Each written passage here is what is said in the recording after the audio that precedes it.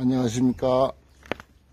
어, 오늘은 2월 초하루인데, 어, 모든 산문을 다 폐쇄하고, 어, 초하루 법회도 중단이 됐고, 어, 비단 법무사뿐만 아니고, 전국 사찰의 초하루 법회를 다 올 수도 했습니다. 어, 그래서 여기는 뭐 경비들이 이중 삼중으로 어, 서서 어, 오는 사람을 막고 또 거기다가 또 이제 에, 붉은 줄을 쳐가지고 어, 공고문도 붙이고 이런 상태가 됐습니다. 에, 어찌하여 세상이 이렇게 에, 됐는지 어, 얼른 하루빨리 좀 에, 코로나 사태가 끝났으면 좋겠습니다. 아, 너무 안타까운 사실 상황이 벌어지고 있습니다. 에, 오늘 또 에, 백팔자제어 어, 성음 스님의 그 주옥 같은 어, 지혜와 자비의 말씀을 에, 우리가 공부해 보겠습니다. 어, 역시 이 책인데요. 어, 지난 시간까지 에, 목차를 소개를 했습니다. 어, 오늘은 어, 제일 에, 첫째 그 첫째 항목의 인격 향상에 대해서 그 중에서도 또 이제 제일 에, 첫째 항목이 에, 이런 말씀이 있습니다.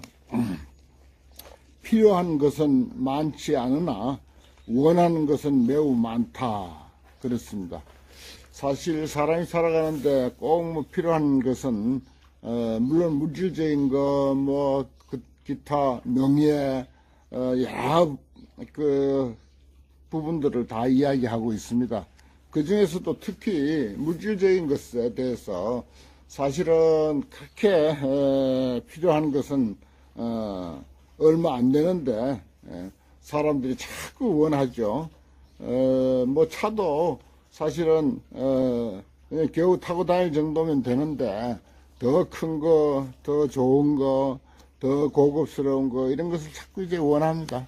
어, 또 주거 시설도 마찬가지입니다. 주거도 뭐 어, 요즘 뭐 어, 그 19래야 어, 몇 안 되지 않습니까?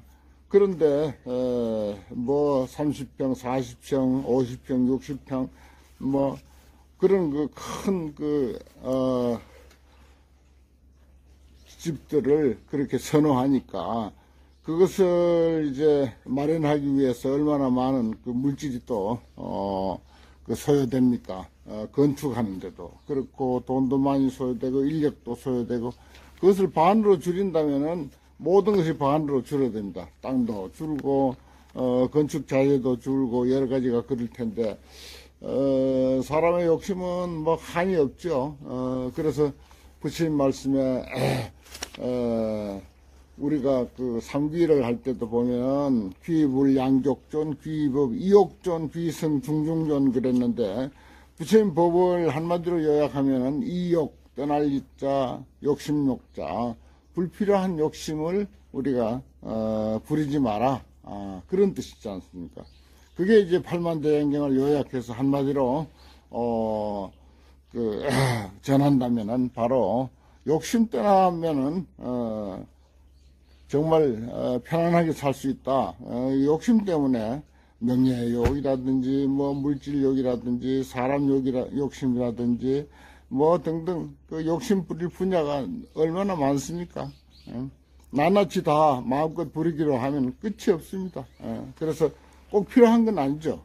필요한 건 아닌데 그렇게 사람들이 에, 그 원하고 있습니다. 어, 그래서 스님께서 말씀하시기를 필요한 것은 많지 않으나 원하는 것은 매우 많다. 이렇게 딱 아주 촌철살인으로 한마디로서 어, 이렇게 에, 우리들에게 가르쳐 주고 있습니다. 또 한마디를 그, 더 소개한다면 은혜를 알고 은혜를 갚는 것이 우선이며 남을 이롭게 하는 것이 곧 자기를 이롭게 하는 것이다. 그렇습니다. 에, 우리가 참 뭐 우선 어, 이 태양의 은혜, 어, 자연의 은혜, 나무의 은혜, 뭐 계절의 바뀌는 그런 그 현상들 이런 모든 것들도 다 사실은 어, 은혜입니다. 아, 그런 은혜인데 그 은혜를 우리가 잘 알아서 그 이제 갚는 그런 그 마음 자세 그게 필요할 것 같습니다. 그리고 남을 이롭게 하는 것이고 자기를 이롭게 하는 것이다. 그렇습니다. 어, 그, 아, 뭐꼭 자기를 이롭게 에, 하려고 눈앞에 이익을 차린다 그래봐야 어, 꼭 자기가 이로우시는 건 아니죠. 어, 남을 이롭게 하는 것이 곧 자기를 이롭게 하는 것이다. 어, 참 어, 기가 막힌 성인의 말씀입니다.